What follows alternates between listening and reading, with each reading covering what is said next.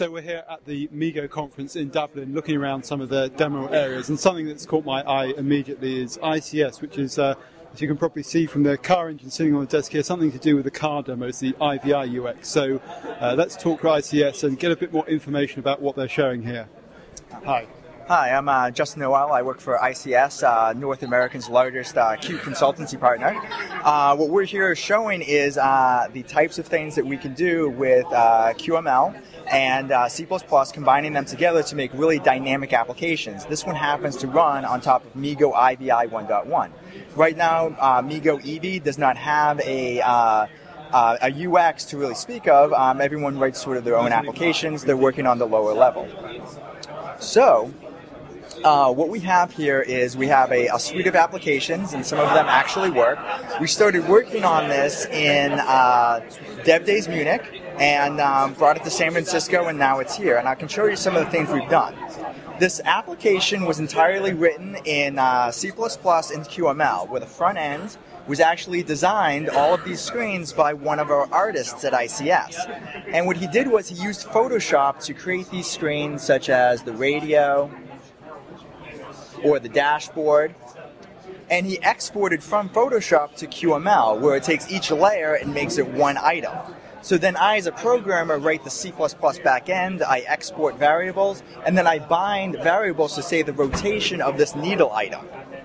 Um, and since uh, QML has states and transitions built into the language, doing stuff with lists and different screens is extremely easy.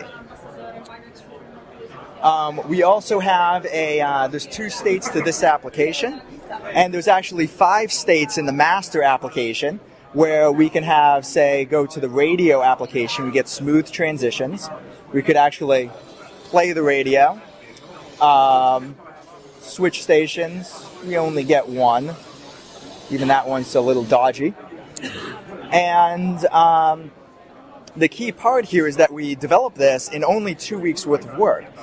And what happens is, is that since the designer is actually involved in the um, uh, in the development, what we get from the designer is actual usable code. So the designer gets their vision immediately inside of the application that I, as a C++ programmer, are developing.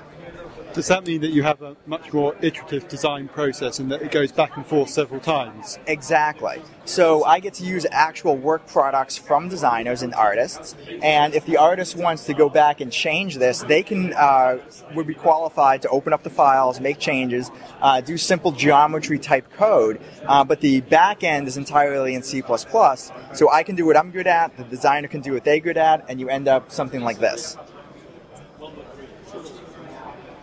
So, what, was the um, original idea behind that system? What, what, what drove you to do that? Good question.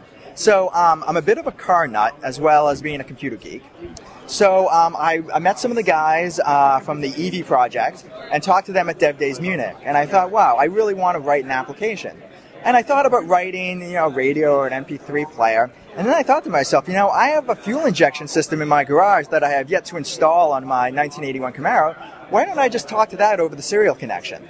And um, that's how it started. I uh, booted up uh, MeeGo Eevee on my Lenovo, wrote some code, and it snowballed from there. And you're now simulating some of the car systems on here on the sort of the, the board here. Yeah, well, this is actually an open source uh, fuel injection system called Megasquirt.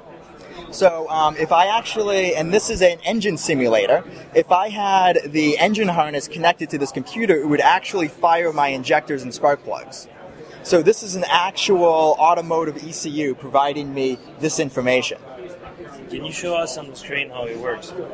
Uh, from the, I can change values on the ECU, and you can see the sensor values change, and the needles move smoothly. They have a little bit of bounce at the end.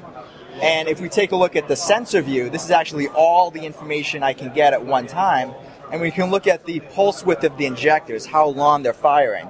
And as we move the RPM up, you'll notice that as we accelerate and decelerate, we're having more and more pulse width.